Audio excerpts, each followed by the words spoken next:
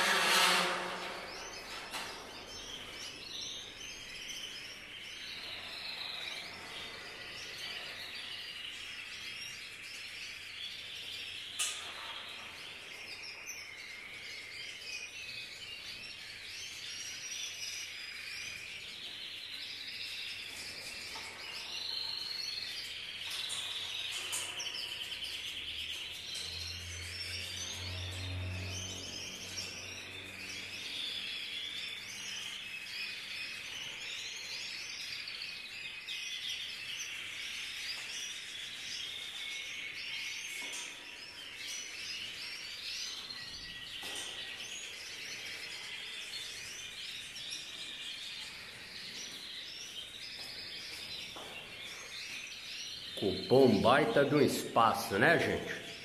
Mas aí é só ajuste, depois é só pegar mais enforca gato, né? E aí pontear aqui, tá vendo? E acertar o, o alinhamento, tá vendo? Aqui para quem não viu, tem uns encaixe que é diferente aqui, tá vendo? No suporte, tá vendo? E aí você, ela tem essa curvatura aqui, você entra com ela inclinada e aí tomba e essa curvatura aqui é que deixa ela no ângulo de 90 graus retinho, tá vendo? Aí dá para vocês perceber. E logo embaixo tem o, o onde encaixa as gaiolas, tá vendo? Mostrar aqui para vocês ver depois.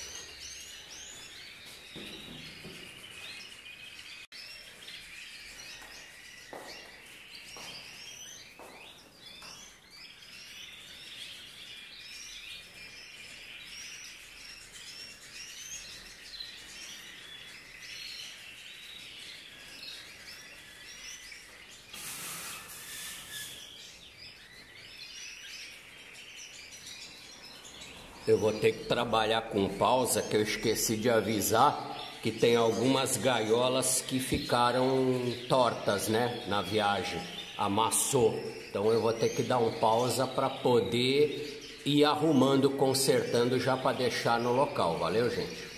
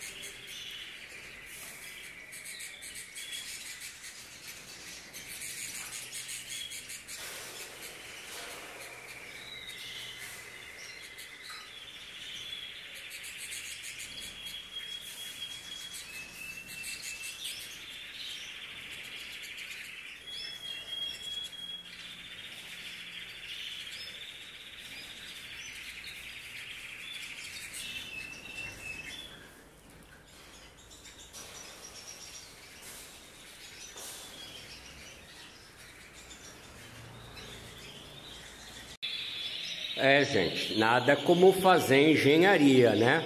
Mentira, né? Pura sorte. Parece que foi feito para cá. Olha lá, meu carrinho passa aqui, ó, bem justinho. Olha lá, desse lado aqui, ó, tem uma pequena folga para poder fazer a, a linha de alimentação, né? Vou dar um pause. Olha lá. E do outro lado também dá certinho para poder passar o carrinho para tratar dos dois lados e aqui também tratar dos dois lados. Apesar que provavelmente as voadeiras vão sair, elas vão lá para o quarto. Se eu ali a voadeira, ela tem 50 mais 5 da bandeja alongada, 55. As gaiolas são 40 mais 5, 45. Então eu ganharia 10 centímetros desse lado, ficaria mais folgado. E aqui provavelmente não vai ter nada, né? É, a gente fala não vai ter nada, já viu, né? porque a ideia é tirar eles daí, aí o próximo conjunto que vai vir à tarde vai entrar nesse espaço aqui, e aí conforme for eu vou ver se as gaiolas de um lado entram nessa parede e as voadeiras que vão sair de lá e vão para o quarto, aí entrariam os pássaros que estão lá naquela parede e aqui ficaria a sala de criação. E aí eu acho que dá mais do que espaço suficiente para fazer isso aí. Beleza? Então aqui já dá uma noção para vocês. Aí aqui é só uns pequenos ajustes, né? Que nem eu falei de colocar o engasgagato aqui para segurar e deixar tudo no, no mesmo nível. As bobinas eu já trouxe, tá no carro, vai daquele lado. Conforme for, aí eu boto a outra de lá, deixo esse meio livre a bobina vem de lá, toda a sujeira cai aqui no meio e já cai direto no cesto de, de lixo. A ideia seria assim, ó. Já tira o papel, já cai de lá para cá e daqui para lá direto na, na boca do, do lixo aqui, né? Então ficou bala, deu um trabalhinho como tudo na vida, mas tá ficando 10, Tá ficando demais. Valeu, gente? Então, dá uma pausa, nem sei que oração para almoçar. Esperar meu amigo Luiz para gente ir lá na, no outro criador e trazer as, as gaiolas ainda e suportes que estão lá. Os pássaros provavelmente continuem lá. Mais uns dois, três dias. Quando eu limpar as outras gaiolas, as, as, as gaiolas não, quando eu botar papel aqui, botar comida e água, trago, solto eles aqui e aí faço outra viagem lá. Valeu, gente. Muito cansaço, mas feliz da vida. O sorriso não está aparecendo ainda pelo cansaço, mas vai aparecer que eu vou dar pulo de felicidade. Então vamos almoçar e vamos para o segundo tempo. Um abraço!